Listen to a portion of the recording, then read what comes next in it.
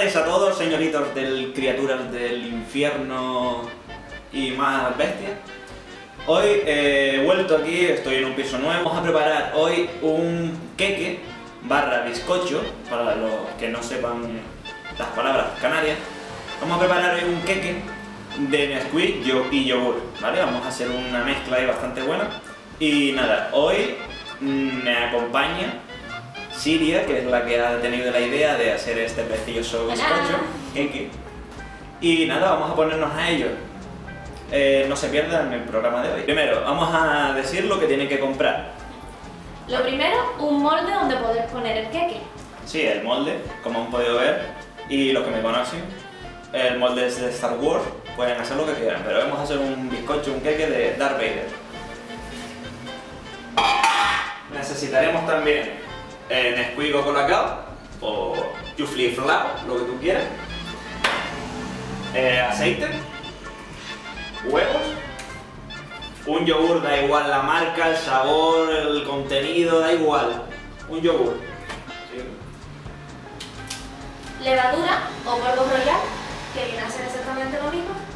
Azúcar, ya puede ser azúcar blanca o azúcar morena. Y Pues nada, vamos a empezar. Eh, lo primero que hay que hacer es embadurnar el, el molde con eh, mantequilla o... Exacto, man- ¿esto qué era? Margarina. Mantequilla o margarina, yo me cuido, soy un chico sano, voy a tomar margarina.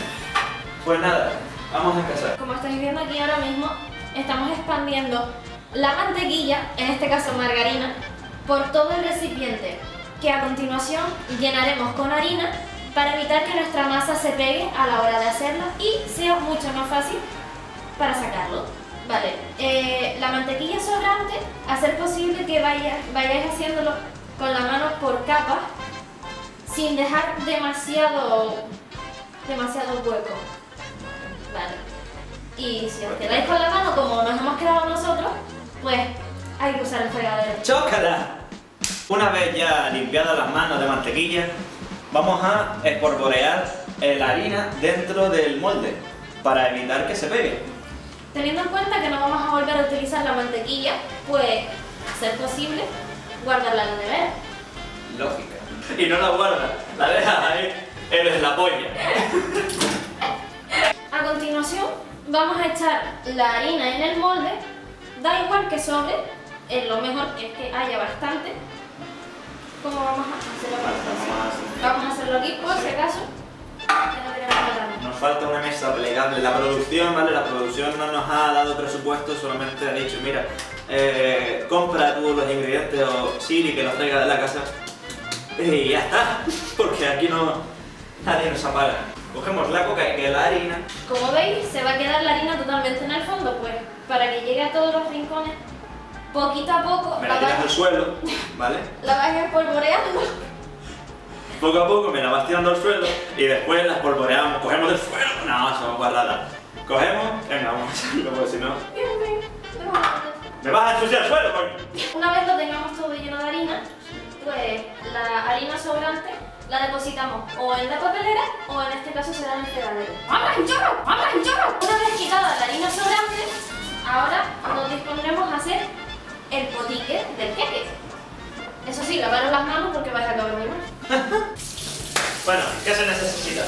¿Qué se, necesita? Se un bol así de grande, no tan grande, pero viene bien, porque si no, después cuando, esté batiendo, va a salpicar y prefiero tener un bol grande y, e ir haciéndolo para que nadie, para que nadie salga herido como antes pasó con la, con la mantequilla, con la harina, con la coño, margarina. Maldita margarina. Eh, para nuestro queque vamos a necesitar unos ingredientes muy sencillitos. Ya lo dijimos antes, pero lo volvemos a repetir. Para más, mayormente para decir la cantidad, porque no es echar una gallina dentro del queque. ¿Que no?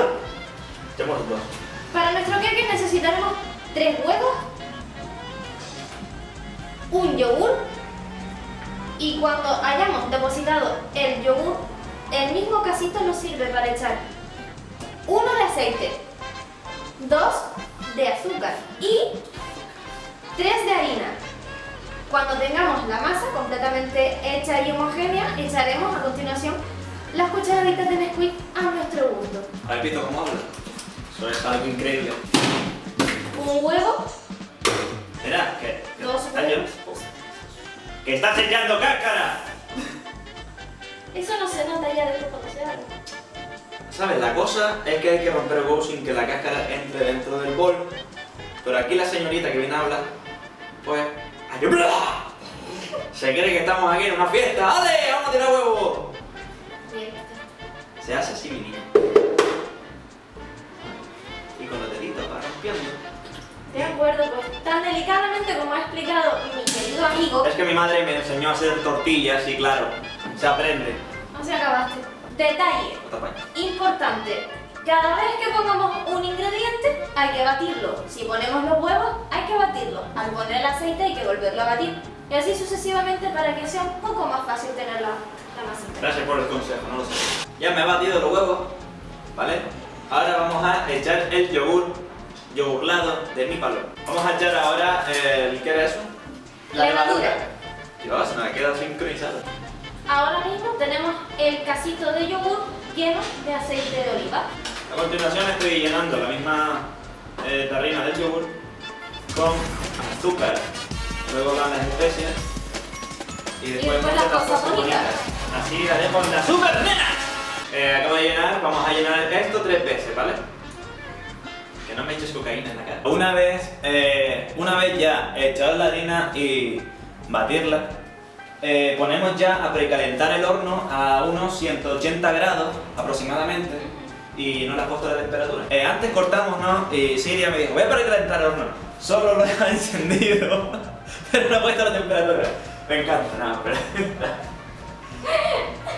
Vamos a, eh, a continuación vamos a echar eh, una taza y media de, de Nesquik para que quede así en plan chocolateado. Pues vamos a batir.